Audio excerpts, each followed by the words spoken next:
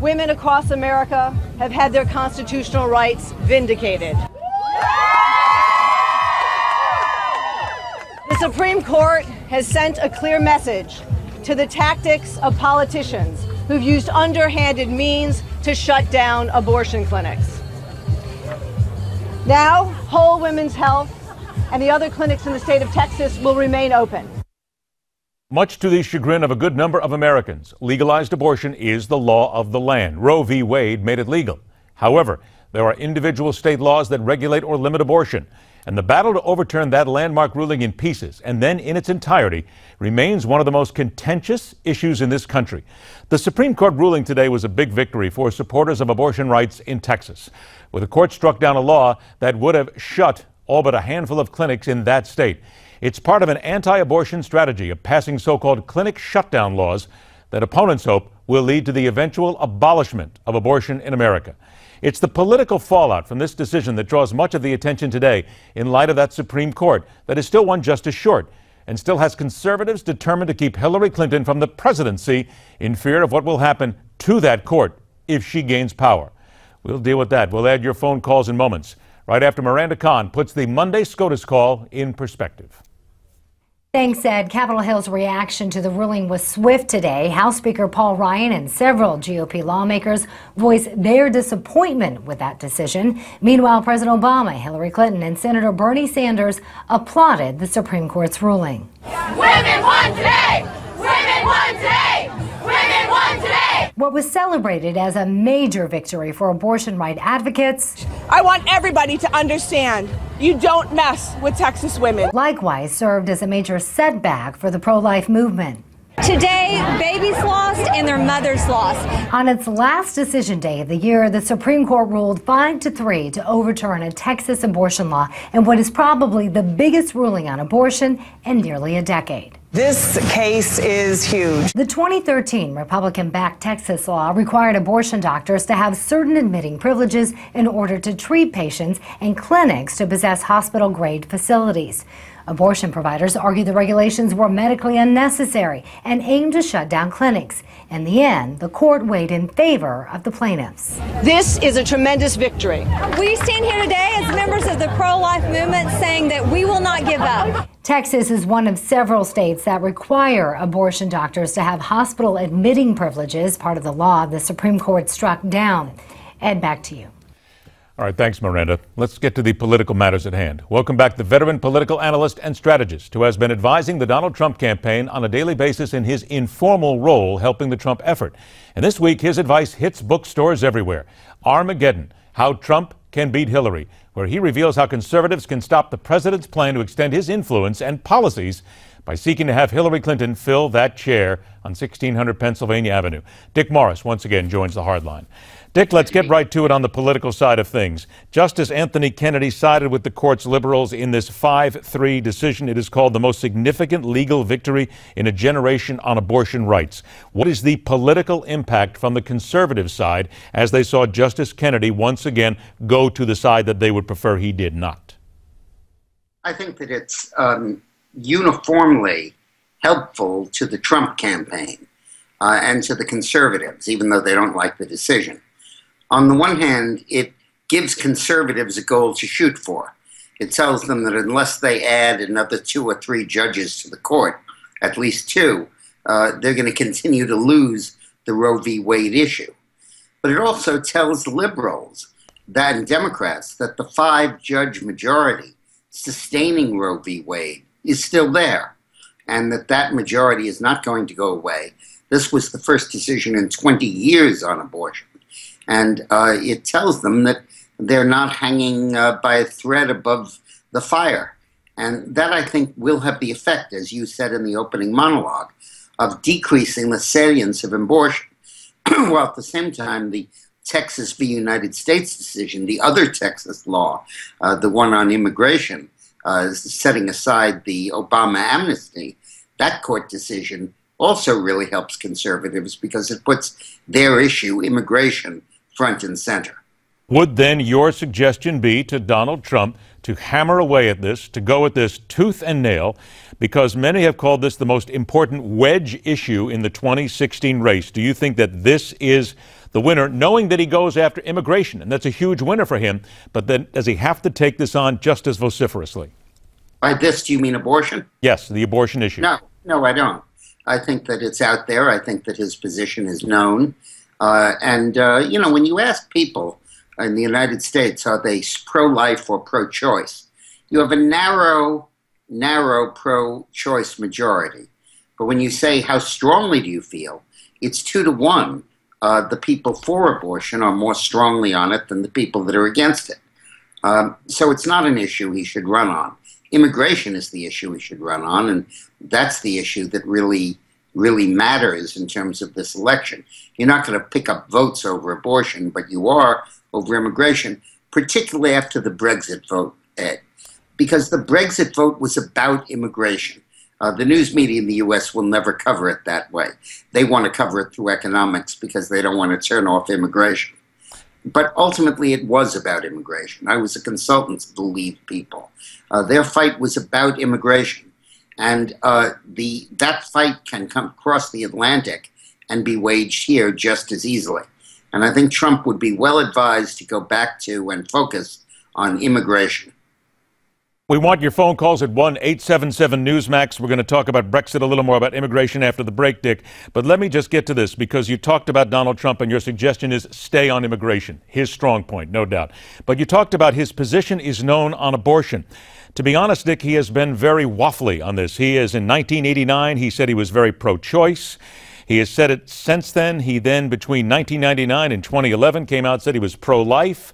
Is it not fair to say that he needs to stay away from this because too many people are unsure what his exact issue, what his stance is? That's exactly true. And sometimes waffles taste really good. but are they going to be good in an election like this? That's the question Yeah, that people are going to have to answer too. All right, one eight seven seven Newsmax if you want to join us. Rick is in Nampa, Idaho. Rick, let's talk about this. You said it's not any of our business if women want to have an abortion. Go ahead and expand on that. Well, it's not.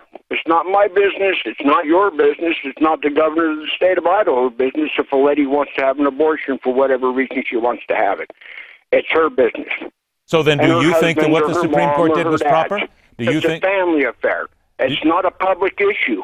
Do you think then what the Supreme Court did was proper?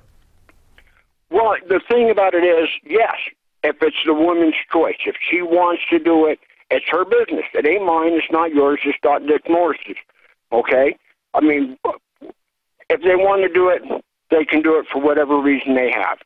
You know, I was raised Catholic. I just hope it's a good reason and not just because because. All right, Dick, let me go ahead and thank you very much for the call, Rick. Dick, let me get to this as well, because is it just possible here that with Justice Kennedy shifting over, that he is moving to where the country is going? And I say that because we have to look at numbers.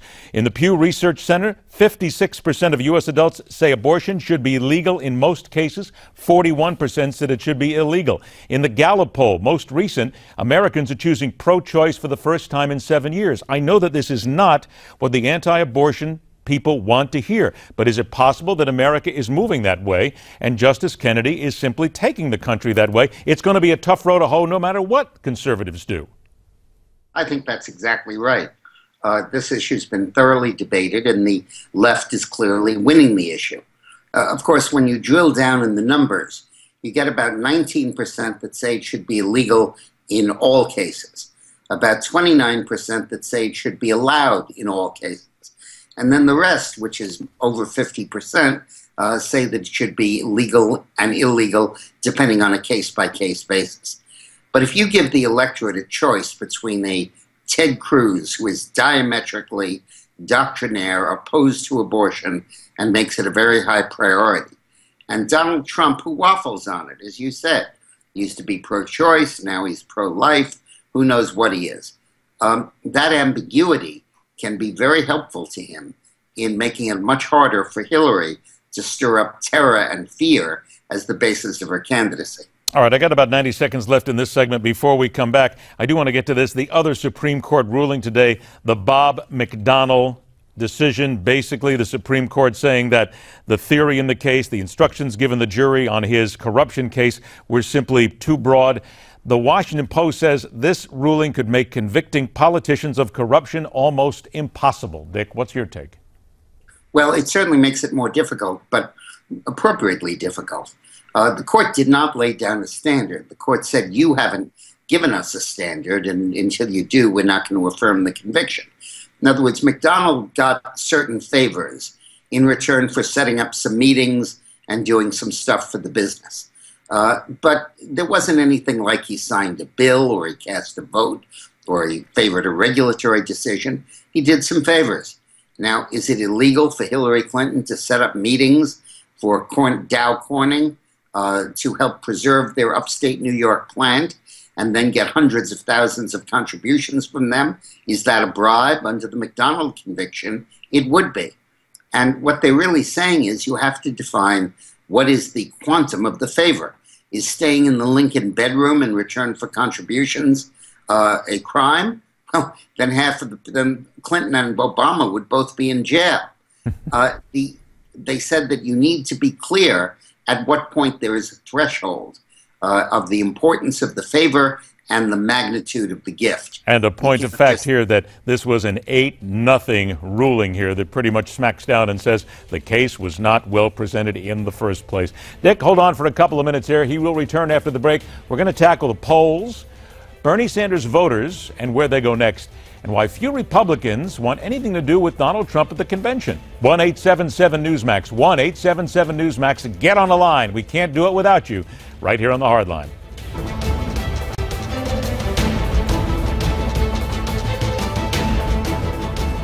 here today because I'm with her. Yes, her.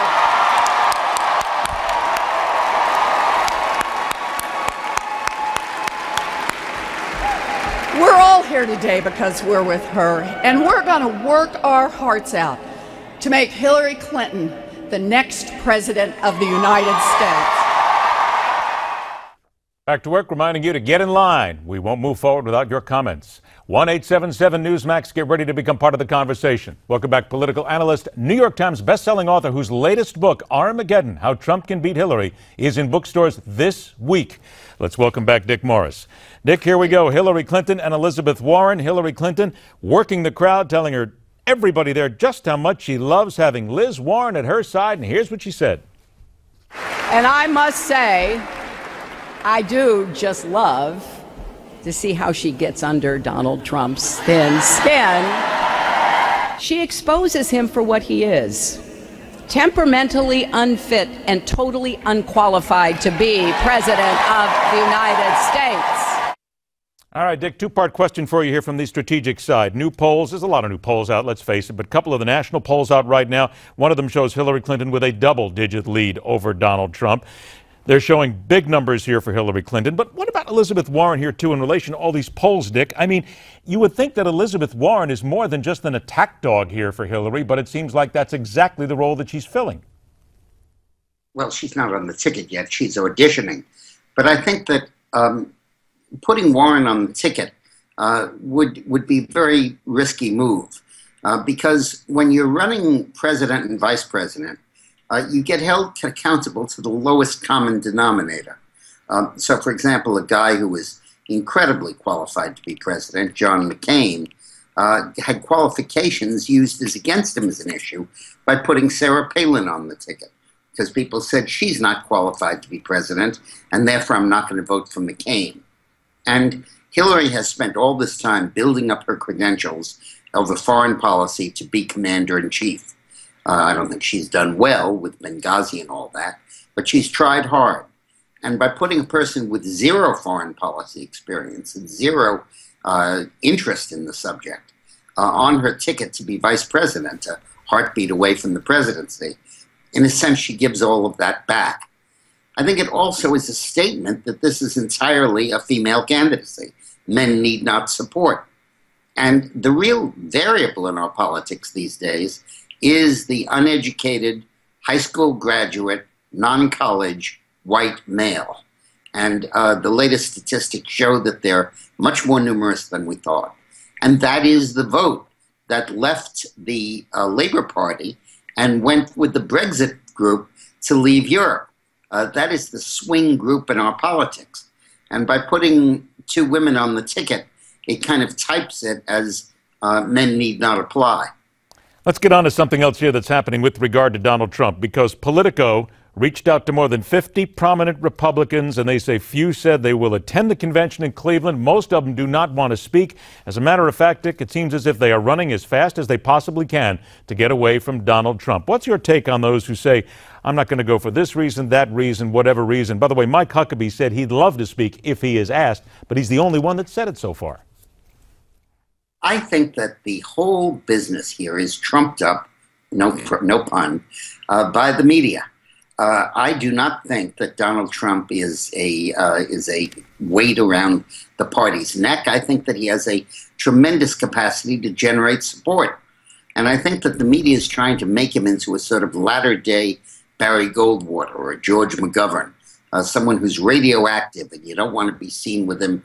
You don't want to be involved with him, and politicians who basically don't own a piece of Trump because he doesn't come up through the process uh, are anxious to double down on that. Is it still, though, uh, uh, let me stop you there for one sec, Dick. Is it still a media creation, though, when Politico goes out and asks the question, and you've got Mark Sanford saying, I'm not going to be there, Carlos Curbelo, I won't be there, others coming flat out. That doesn't sound like a media creation at this point. It sounds like actually they're getting to people who say, I don't want to be there. In the story. It's a shame that this isn't a gathering that Mark Sanford, who was hounded out of office as governor of South Carolina for having an affair, uh, chooses to grace him to grace. I, am not sure that's the uh, litmus test we ought to be using here. Uh, I think that that this is all a job to try to paint Donald Trump as unelectable, and there are some Republican politicians who are finding it to their advantage to say that like Mark Kirk, who wants to get elected, reelected senator from Illinois, a state he knows Trump is going to lose. So by posturing that he's not with Trump and he's independent, he racks up points with voters, and they may say, "Oh, well, good. I want to vote for someone who thinks for himself, like Mark Kirk." And uh, there's also, bear in mind, a huge anti-Hillary feeling among the voters. So they don't say they're for Hillary; they just say they're not in, enamored of Trump. Okay, well but, let's let, us let us bring some voters in here. Let's bring some voters. Uh, let's get some voters in here because we, we are short on time. I want to make sure we get them in here at one eight seven seven Newsmax. Chuck is calling from West Virginia, and Chuck, you believe you want the Republicans to speak for Trump at the convention, but how do you get them to speak when they don't want to? Well, I don't think it's how you get them to. They, sh- if they're devoted to their party, they should willingly go out there and back Trump 100%, whether they like him or not just like the Democrats are doing. I'm sure there's a lot of Democrats that can't stand Hillary because of what she's done, and they know she's crooked, and they know what's going to happen in the White House if she gets in there. So, you know, we're not the Republican Party is not a unified party. They're a bunch of crybabies that if they don't get their way, they're going to cry and run away and hoo ha and, and, and you know it's ridiculous. I'm so sick and tired of the way this is all going.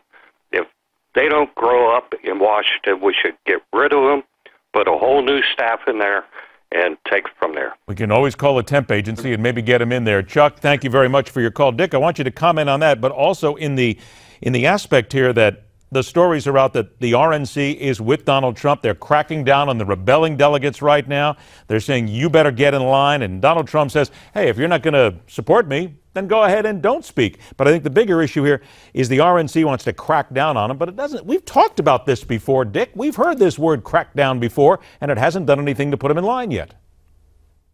Well, uh, I think the RNC now should be for Trump, and I'm glad they are. Uh, the way you can lure these politicians to the podium to speak at the convention is very simple turn on the camera. It's not working, though. They say they don't. Oh, but, but let me just say this, though, Dick. Is it not fair to say that we still got a couple of weeks to go here? Everybody can say they may not, but if you give them a prime place to speak here, that there's still yeah. politicians who may change their mind. Exactly. And Ed, who have you got? You cited two congressmen, one of whom uh, was discredited in a major scandal. Uh, do you have, uh, I mean, has Cruz said he's not going to come? Has uh, Kasich said he's not going to come? No, but but Trey Gowdy has said that he won't go there, and also Elise Stefanik, who's the New York rep who helped to write the GOP platform of the 2012 convention, she said she's not going either. Well, I can see Gowdy not going because he needs to preserve a sort of above the fray view in terms of the Benghazi committee report. But you're not seeing what senators are you talking about? I mean, there's Sasse in Nebraska, and I think that's about it. Kirk is a little distant, but that's because he's running. Um, this is fomented by the media. They find one or two people who are marginal at best, or looking for a headline, or looking for a story, who peddle it. Uh, there is no rebellion in the Democratic Party, in the Republican Party, against Donald Trump. There okay. ain't none. Okay, real quick here, let's go to Doris from Idaho, who says she doesn't support Donald Trump, but she says Republicans should speak for him. 30 seconds, Doris, go ahead. Um, uh, let's see. Um, I really think that Donald Trump should um, go on the immigration thing and also on the abortion. I really feel that it isn't the r- woman's right to choose, but it um, that it's murder and that murder should never be committed. All right, we appreciate your call. Thank you very much. Dick, before we get out of here, the Democrats issued their Benghazi report today saying that Hillary Clinton was not at fault. They want to get ahead of Trey Gowdy and the Republican committee. 45 seconds here. You expected this, didn't you? This had to come. Yeah, uh, and I think their report is irrelevant. Uh, I think that report that the Benghazi committee, the majority, is going to issue will be very relevant. And let's face it, the Benghazi report has already been issued. It's called the movie 13 Hours. Well, but it was a movie, and let's be fair, it is not 100% accurate because we all know Hollywood takes a lot of liberties, correct? It's pretty accurate. Uh, it's pretty accurate that there was no backup. It's pretty accurate that four people died. Yep. Pretty accurate that Hillary had a lot. The British ambassador had an assassination attempt on his life, and the Brits pulled out their consulate. What more did Hillary need to know that she needed to increase security? I got a feeling that as we get as we get closer to the convention and the election, 13 hours is going to be rented an awful lot by a lot of people. They'll be out buying that DVD. Speaking of buying, buy this this week. Dick Morris's new book is Armageddon How Trump Can Beat Hillary. It is available in bookstores this week. It is what he believes the roadmap that Donald Trump should use to defeat Hillary Clinton this year. Dick, always a pleasure, my friend. Thanks for joining us. We'll talk to you soon. The numbers are clear in what Americans want in certain political issues of the day. But do they tell us the whole story? Coming up next with your phone calls right here on the Hardline.